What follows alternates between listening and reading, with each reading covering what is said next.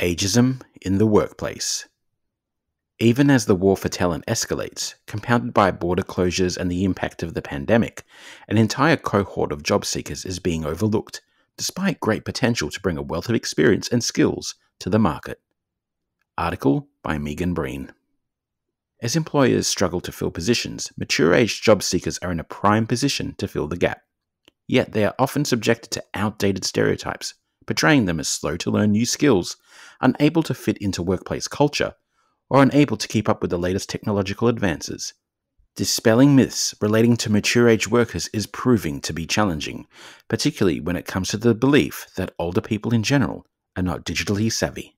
Despite the fact that someone in their 50s or 60s has likely been working with computers for most of their career, owns a smartphone, functions quite successfully in the digital world, there is a reluctance to believe that older workers would be able to pick up the latest new software program or platform required to do their job well and keep up with younger colleagues. According to the World Health Organization, the cost of overlooking older workers is enormous. In Australia alone, it is estimated that if 5% more people aged 55 or older were employed, the national economy would benefit by as much as $48 billion annually. Fiona Lamb, Executive General Manager, Employment Services with Max Solutions, says that between 2018 and 2021, the company's cohort of mature age job seekers increased by 33.8% to more than 30,000 people. She points to the company's recent report, Breaking the Age Barrier, which shows that 30% of employers are reluctant to hire mature age candidates, while 85% of older job candidates say they perceive reluctance for employers to hire older people.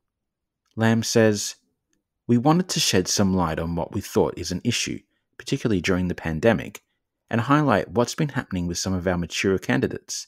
Older workers, that's 50 to 60 year olds, make up 18% of our population, but 28% of our candidates. It is disproportionate. According to the Australian Government's 2021 Intergenerational Report, 23% of the population is projected to be aged over 65 by 2061, a rise of approximately 7% from 2021. This means Australia's ageing population will reduce our national labour force, contributing to projections for slower growth of our GDP at 2.6% per annum for the next 40 years, compared with 3% for the past four decades. Lamb says the average length of time for someone to get back into the workforce when they're over 50 can be up to two years. I think the economic impact of this is huge. If we have a whole lot of older workers who still have many years left but are out of work, they will be unable to pay for their mortgage, and they may be supporting a multi generation household with children and older family members.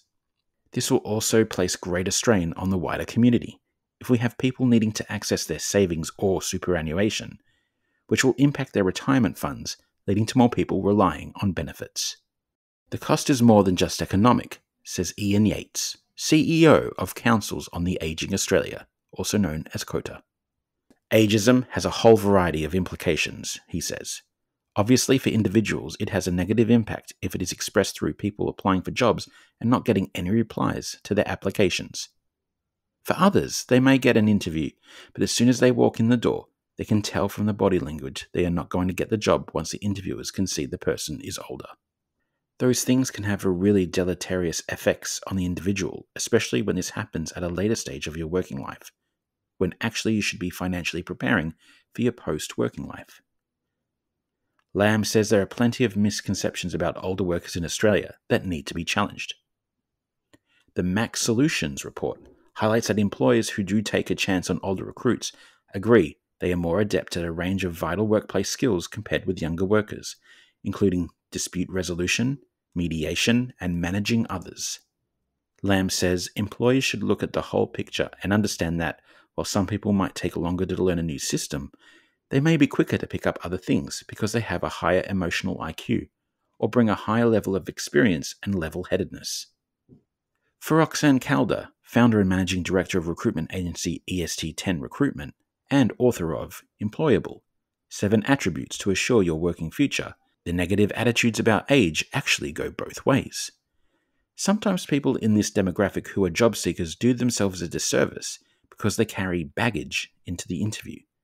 They take on the persona that they are older or not as quick as younger people. I've met and interviewed so many people who are in this situation. Lacking self confidence, letting the bias and prejudice of others affect their demeanor. Unfortunately, it can be perceived as negativity and then be self fulfilling. Self awareness around this is really important, says Calder. Organization research tells us that workforces that are diverse in a range of experiences, including age, are generally more productive and more proactive, says Yates. While attention with regards to diversity has been focused on gender, race, and disability, age discrimination has been overlooked, he adds. COTA advocates for a package of measures. We need a public awareness campaign, we need a government incentives that are offered for employment to be widely promoted, and we need to reform the age discrimination laws so they recognize the systemic nature of age discrimination. We also need more proactive retraining opportunities for mature age unemployed people. Taking a good look at your client base can also be beneficial, adds Calder. There are certain brands of retailers that are cleverly matched the people who work there with their customer base. The same could go for an accounting firm. If you have older staff who are knowledgeable and experienced, then your clients are going to appreciate that. Hunter Leonard, founder of Silver and Wise, adds, It's everybody's problem. We are all going to get older, so clearly this is an issue we all need to pay attention to. He adds, Accountants and financial advisors are such a valuable part of our community. They are trusted advisor of business owners, small and large, so they can have a voice to speak out against that. They have a lot of potential to encourage a more positive attitude towards mature age workers and job seekers.